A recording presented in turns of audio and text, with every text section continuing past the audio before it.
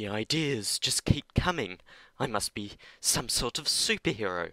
I roam the channels, searching for things that just aren't right. I'm no bullcrap guy. With the powers of logic and reasoning, I am the only one who can save the world from the tyranny of dumb stuff man, the evil villain who. No, this is stupid. No bullcrap guy saves the day again.